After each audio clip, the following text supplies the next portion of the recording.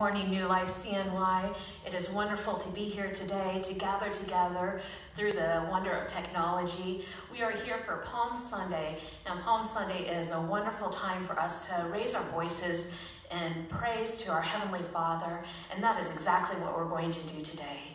We're also going to be celebrating communion at the end of service. This is our unplugged service, so we hope that you will be able to just take some time and be in reflection of all the praises, of all the blessings that we have. Let us pray. Heavenly Father, we welcome you this morning. We welcome you into your house, that we are here, we are ready, and we are entering into a time of worship and praise, celebrating your Son and his love that he sacrificed for us. We ask that you come. In your name we pray.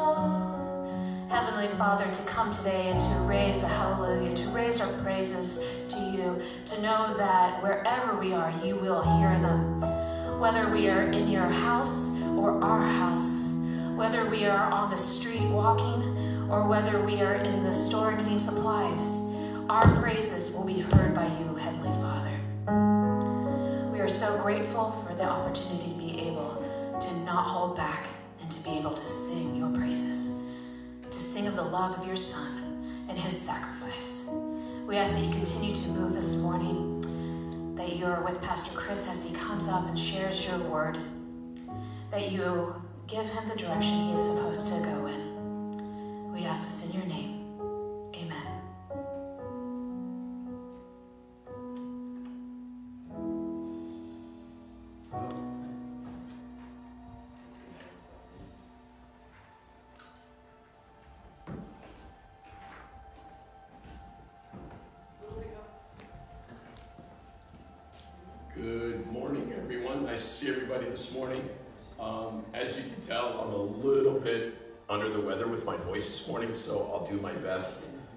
Sound like I'm processing through puberty again.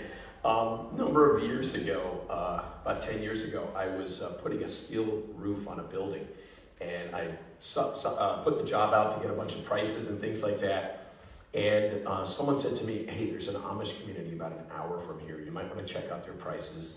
So of course, I couldn't call them on the phone, so I had to drive up to this community, um, and there was such a whole community, really, a whole group of people who were um, Amish, uh, I guess, by faith and uh, and uh, ethnicity, uh, but they all had different kinds of trades, and one of them had a huge uh, metal brake that made metal roofing. So I went in and I talked to the fella. It was really cool. His name was Mose, which reminded me of the show The Office and the guy running by the side of the car. And I thought that was kind of cool. And I was talking to him. I got a bid for the job. It was a large roof, um, and it was roughly about 50% cheaper uh, than the original uh, quotes I had. So I said, okay, great, let's do this. And he said, great, uh, we'll have it done in a week. And uh, he shook my hand, and I said, okay, I'll be back in a week. So week went by, I drove up with a big industrial trailer, parked it. He said, I'll have my kids loaded up for you. And inside this facility, there were a whole group of little kids. I mean, from five years old to, you know, 18 years old. None of them wore shoes. Uh, it was in October. And they started loading up all this metal on this trailer I had. And I said to Mose, okay, how do I pay you? And he said, just go right inside. My son's in there. And um, he'll take your payment. So I walked inside this barn, uh, no shoes. Kid had no shoes on. And he's sitting there. And he was eating a cantaloupe while he was talking to me, and it was all covered in flies, and it just didn't bother him. It freaked me out. So anyway, so I had a I had a pocket full of cash. I had seventeen thousand dollars in cash, and here's this kid sitting on a, on a stool behind this little table, and I'm about to give him seventeen thousand dollars in cash, and I'm start counting out the money, and he's looking at me kind of weird. He just kind of trusted the handshake, and I looked at him, and he looked so young. I said, "How old are you?" And he said, 14. And I'm like, okay, I'm giving $17,000 cash to a 14 year old kid who's eating a cantaloupe and not wearing any shoes. So I went out there, I said to Mose, he's got the money. He's like, okay, great. Off I went with my, my roofing. I got to the job site, I backed it up, and I looked at my watch. I said, oh my goodness, I need to go to my son's hockey practice. Things are running late. So I got in a car, I drove as fast as I could, grabbed my son. He was real, real, real young at the time. Drove to the ice rink, got all the skates tied on. I was coaching, got out on the ice, running a practice, running here, running there. Then we, after the practice, we had a big meeting about where we're going to go play hockey over the next weekend and everything like that. And I just started to think, wait a minute, am I crazy? Their kids are making the money. Those kids are working. I said, am I insane or are they neglectful? And I started to think, uh, how does this work? Am I, are they too strict or am I too lenient? Are their kids workers and my kids worshiped? And I started to think about who's right, who's wrong here. And then I started to think, how does God look at us as parents? As a parent, how does he look at us as children? Are we workers that we produce and make him money? Or we produce things for him? Or are we worshiped? Are we things that just kind of be? Is our relationship with God about doing or is it about being? Are we worshipers of God or are we workers of God? How does this dynamic play out in our faith, in our relationship with God? Is God a neglectful God where he just says, oh, go do whatever you want, it doesn't matter? Or is he abusive God? He says, you do exactly what I tell you to do, and if you don't, you're going to be punished. How does God look at us? As a father? As a parent? As a God? And how do we relate back to God? Is our relationship about doing? Is it about being? Is it about being a worshiper? Or is it about being a worker? This has been a conundrum. This has been a problem for the Christian faith since its inception. This is a problem with the church today, is trying to figure out how we relate these two aspects of our relationship with God together.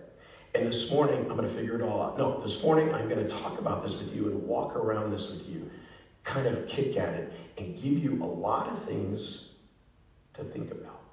So here's the passage we're going to look at today. It's Psalm 98. We're going to read the whole psalm in this incredible voice of mine. And I'm um, going to take it real slow. And we have served, we have uh, communion afterwards, which will be interesting in this voice. It's going to be like communion served by John Wayne or something. But okay, Psalm 98, verses 1 through 9. It says, Oh, sing to the Lord a new song, for he has done marvelous things. His right hand and his holy arm have worked salvation for him. The Lord has made known his salvation. He has revealed his righteousness in the sight of the nations. He has remembered his steadfast love and faithfulness to the house of Israel. All the ends of the earth have seen the salvation of our God.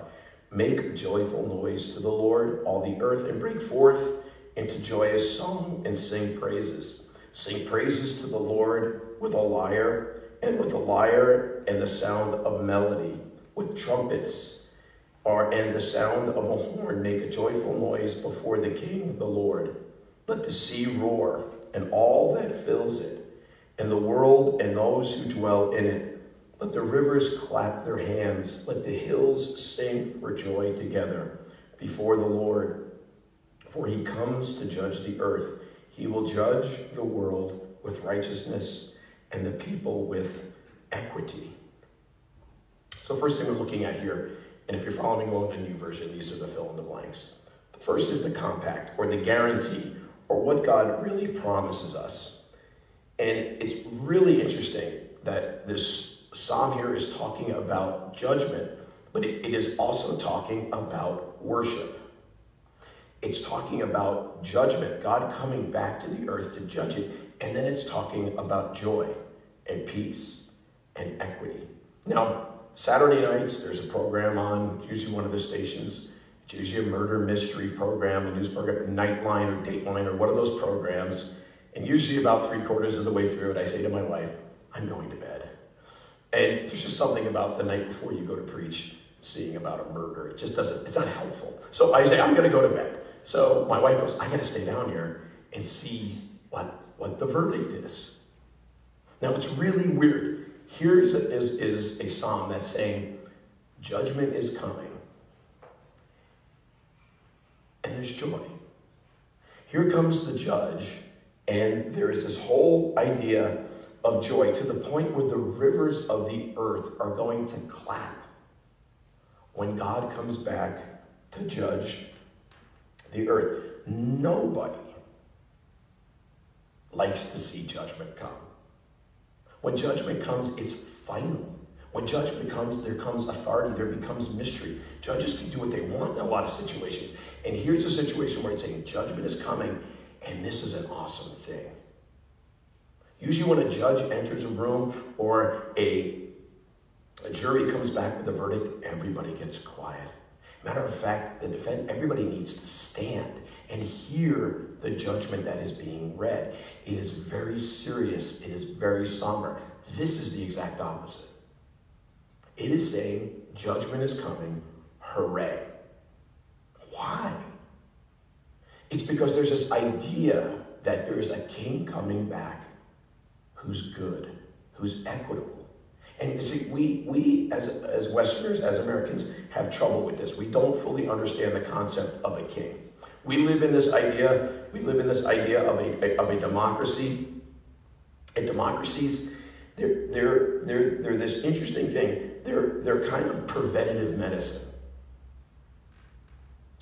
Churchill said democracy is, is the worst form of government except all the others.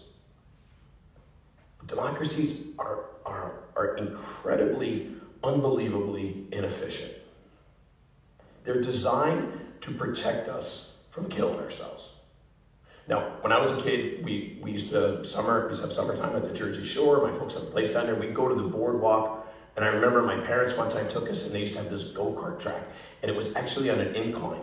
And you'd get in these go-karts, and my parents would begrudgingly pay a few bucks for my brothers and I to drive, drive these little go-karts around. And one of the kids in our neighborhood had a go-kart, and we realized how fast these things could go. And I remember we got on this track, we got on these go-karts, and we floored it. And those go-karts would barely move. So we went around it, and I was like, man, these things are slow. And we got out, and my oldest brother, I said to my oldest brother, Tom, I'm like, why are these things so slow? He says, oh, they have a governor on them. I'm like, they got a governor on them. He says, yeah, there's this little thing on the motor, prevents the motor from going full throttle. He says, so what happens is it prevents it from going really fast, prevents it from going really, um, going from us killing ourselves. It prevents it from being really fun, and it makes this really cool ride boring. That's what a democracy kind of does. There's a balance in government, and it prevents us. It's incredibly inefficient. And by the way, it's incredibly boring. That's why they say the two worst things, you, you, the things you never want to see made are sausage and law. It's not fun. It was really interesting. My brother figured out that there's a little uh, throttle cable on the side of the frame, and if you pull it, you get a boost of power. So the next time we went on it, we began pulling it. Next, we were passing everybody because we overrode the governor. Guess what? The ride became fun. Democracy is designed to be ineffective. It's designed to prevent us from killing ourselves. A few presidents ago, I'm not a political person, someone said to me, this president is going to ruin our country. I said, it's impossible. They said, what do you mean? I said, it's impossible for a president to run a country. It's designed to prevent that from happening. We think our president rides in on a stallion with, you know, with, with, serving under divine fiat and all this alon. He's, it's not that way. If you look at the State of the Union, these people stand up there, they go, we're going to do this, we're going to do that, we're going to do this, and you want to know what he's going to do, just watch when the whole room goes like this and claps. When half of the room does it and the other half does, what you realize he's just saying things. Nothing's going to happen because that's the way he's designed. It's very, uh, uh, Ambrose in his book uh, dealing with the whole idea of, of uh, World War II and how we entered World War II, what he says uh, is it's called Citizen Soldier. He says a, a, democracy builds like a wave. It's very, very slow moving. It's very, very slow. And that's how we move as a democracy. And when we talk about this idea of a king, we just don't kind of get it. But there's something in us that wants that. There's something that's in us that wants this king to come back and do what's right. That's why I think we love superheroes and we love comic books. That's why there's all these movies about Captain America and all these things. The reality is, if you gave someone that much power, they would ruin themselves because they would need to have the character and the power. And we, we, we don't understand that, but there's something in us that wants that. And what most theologians feel is that there's something of the fingerprint of God left in us from the original creation of Adam and Eve. That they were in a system where there was a God who was equitable. There was a king who was fair, who was not abusive, who was kind, who was loving. And there's something in us that longs to get back to that. And the promise is, is that that's what we're going to get back. Is that we have a God who is kind, who's fair, who's just, who's equitable, and he's going to come back and he's going to make this stuff right. It tells us that salvation, that it's yearning for God to come back. And when he comes back, salvation will respond with rivers clapping. It even says in another song that, that, that uh, that trees will clap when God comes back. And that's the promise that we have a God that's come back. But here's the problem. Here's the conundrum. This is your second fill in the blank. Is that we we have difficulty with this. We have difficulty understanding how can we can be joyful when this God comes back? How can we be joyful when judgment comes? And we, we, we it's hard for us to get our our um, our, our brain around this today. Because if you talk to people outside of the church, and even if you talk to people inside the church, the most quoted verse um, that we hear today is in this whole idea of do not judge lest you are judged. And in a society that is, is dealing with this whole uh, idea, that's Matthew uh, chapter 7, verse 1 do not judge, or you shall be judged. And or the mantra of today, and that's the verse, so there's no judgment. So when you talk about judge coming, it's like, whoa, whoa, whoa, whoa, we, we don't like that. And this is where socially and culturally we're like, we, we don't like this idea of judgment coming.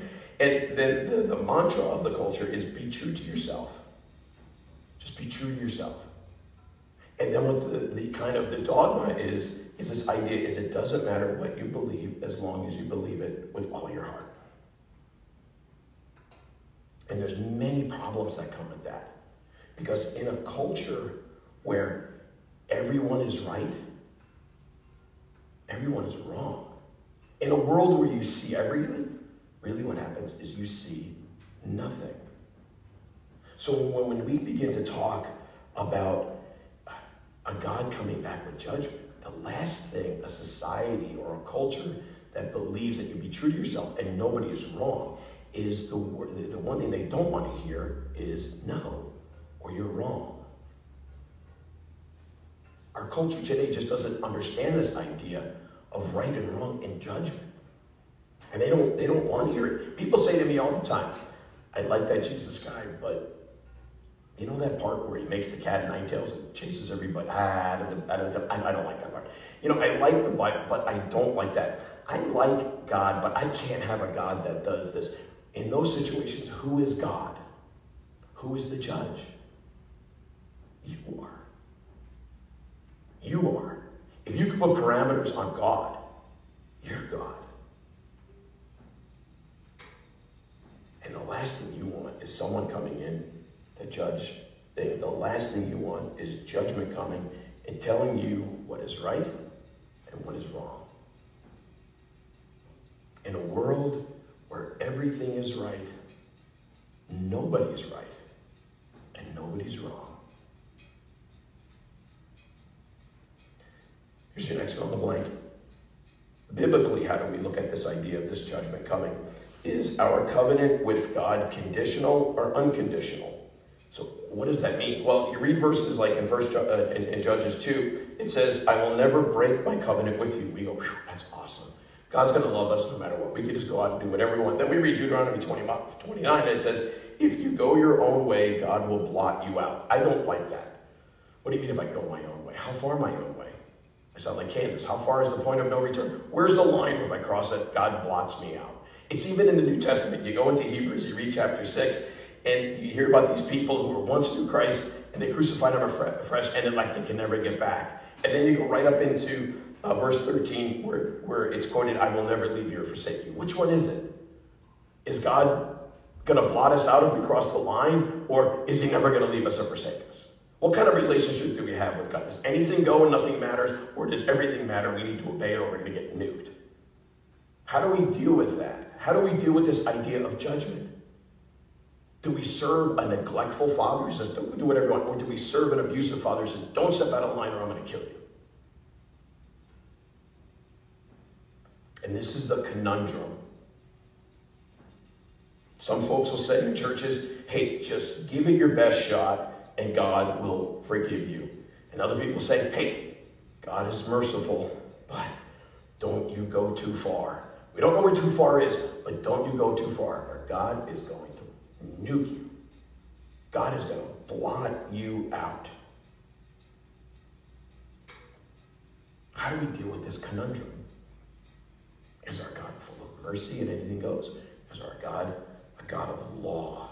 Is our God a God of law and you better not break it or you're done? Or is our God a God of love where anything goes? He'll never leave you or forsake you.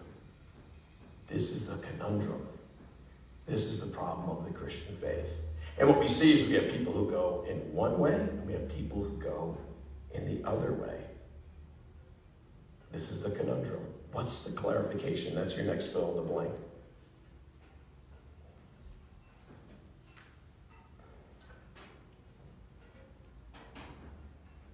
Now, when we look at Psalm 98, it says, And all the earth, all the ends of the earth have seen the salvation of our God. When you look at the first three verses, it's past tense. When you look at the from verses 4 to 9, it's future tense.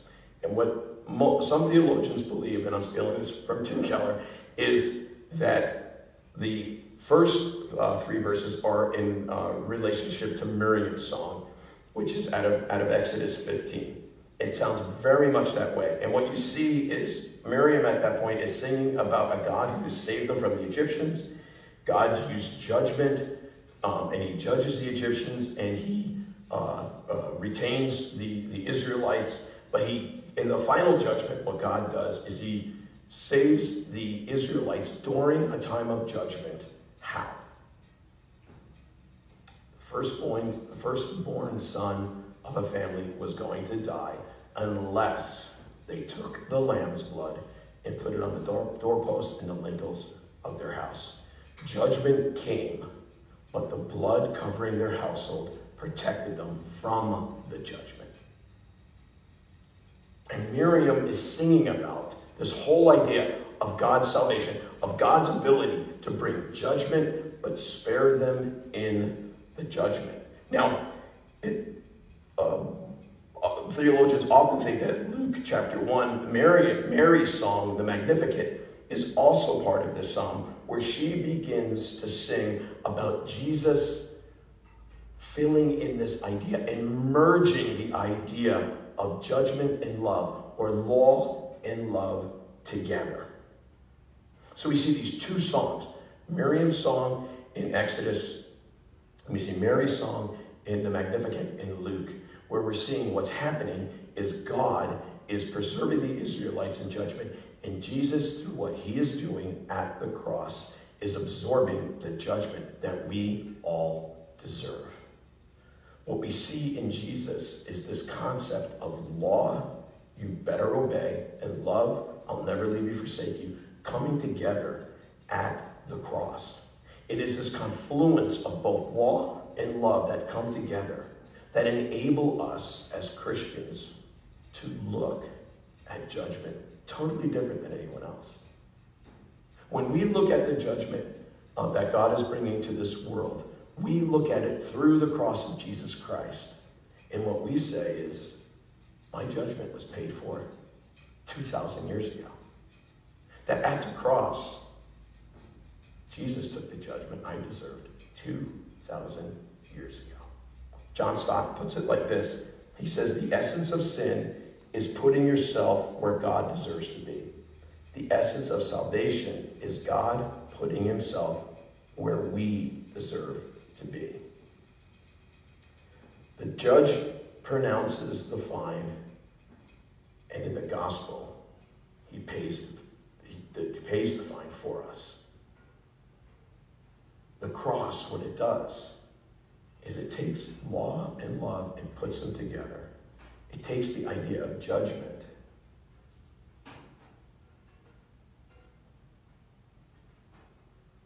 and lets us be reminded God, through Jesus Christ, took what we deserve. Your next fill in the blank. At the cross, both love and law are satisfied. both law and love are satisfied. Jesus fulfilled the law, which we could never do. Then he took the punishment that we deserve, that we could never sustain. And it came together for us at the cross. So when judgment comes, we don't joy over the fact that some people are not going to be part of that, some people are not ready for it. We joy in the fact that our judgment took place 2,000 years ago. So when we look towards the judgment that comes to this earth, we realize that our God is coming back to make things right. Our God's coming back to create a new heaven and a new earth. He's coming here to restore the earth that's here and make it incredible to the way it once was. So when we think of this idea of judgment because of the cross, it becomes a place of joy and peace. That's why when we as Christians go into death, yes, it's scary. Yes, even this time where we're thinking about death probably more than anything, what we realize is that this world that we live in is just an hors d'oeuvre, and heaven is the main course. If you love to be in the presence of God here, when God comes back and we see him, it's going to be even better. If you like the hors d'oeuvre, you'll love the main course. My question is, what kind of God do you serve? You serve a God who's neglectful, says anything goes, do whatever you want. Or you serve a God who's abusive, says, don't you dare step out of line. I'll never bless you unless you do everything I tell you to do. The Christian God is where they come together, where law and love are fulfilled. And we obey because we've experienced the love of God in our life. We don't obey out of duty. We obey because we get to. We obey because we love to. What kind of God do you serve? Because in two seconds, we're going to celebrate communion. And I think what God wants to do to us today is bring us into a relationship with Him where our faith goes, become, goes from becoming a have to to a get to. From I better do this to I want to do this. To if I don't do this, bad things are going to happen. To I get to do this because I love my God, because He loved me. Let's pray and then let's have communion. Lord Jesus, thank you for your goodness, your mercy to us. Thank you that we serve a God who bore judgment for us. Thank you that we serve a God who finally clarified this conundrum of how you are.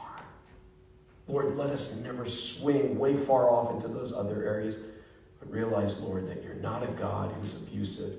You're not a God who's neglectful. You're a God who loves us and took all of that judgment for us. So, Lord, when judgment comes to us, when death comes our way, which it will for all of us, we can enter into that mystery, into the unknowing, with an element of peace and joy. Let us experience you today in a new way as we celebrate communion. In Christ's name. Everyone said, Amen. Amen. I'm just going to step down here. I'm at the communion table. I'm going to read the communion ritual to you. Um, a few folks came by and we had communion and palms uh, available. We have self-contained communion here. Um, and as we go through the ritual, uh, please feel free to follow along with that. If you were not able to get to the church and get one of these today, uh, you can celebrate if you have elements at home. So the invitation goes out to you who, truly, who, who earnestly repent of your sins, who live in love and peace with your neighbor, and who intend to lead a new life following the commandments of God and walking in his holy ways, you are invited to draw near and take this holy sacrament to your comfort, and humbly coming before God, make your honest confession to him. I'd like to re recite the Lord's Prayer this morning. We'll use the terms debts and debtors. Um, if you're familiar with that, um, you can recite it at home. If not, listen. And as we conclude, um, you can say Amen, which means I agree. Our Father, which art in heaven, hallowed be thy name. Thy kingdom come, thy will be done in earth as it is in heaven. Give us this day our daily bread, and forgive us our debts as we forgive our debtors. And lead us not into temptation, but deliver us from evil. For thine is the kingdom, and the power, and the glory forever. Amen. Almighty God, our Heavenly Father, who gave and loved your only Son, Jesus Christ, to suffer death, death upon a cross for our redemption, who by his sacrifice offered once for all did provide a full, perfect, and sufficient atonement for the sins of the whole world. We come now to your table in obedience to your Son, Jesus Christ, who in his holy gospel commanded us to continue a perpetual memory of his precious death until he come again. Hear us, O merciful Father, we humbly ask, and grant that we, receiving this bread and this cup, as he commanded, and in the memory of the passion of his death, may partake of his most blessed body and blood. The night when Jesus was betrayed, he took bread, and when he had given thanks, he broke it and gave it to his disciples, saying, Take, eat. This is my body, which is given for you. Do this in remembrance of me. In like manner, we'll take this bread and we'll break it, symbolizing the body of Christ, which was broken for us. In like manner, after supper, he took the cup, and when he had given thanks, he gave it to them, saying, Drink of this, all of you, for this is my blood of the New Testament, which is shed for you and for many for the remission of sins. Do this as often as you drink it in remembrance of me. Amen. If you'd like to take your communion, self-sealed communion, you can open up the top, take out the wafer, the body of Christ which was broken for us. Let's take together in unison.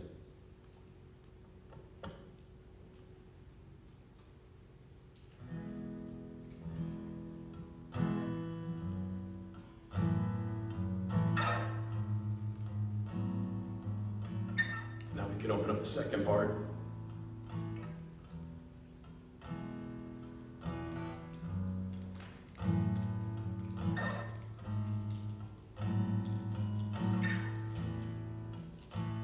Blood of Jesus Christ. Let's take together in unison.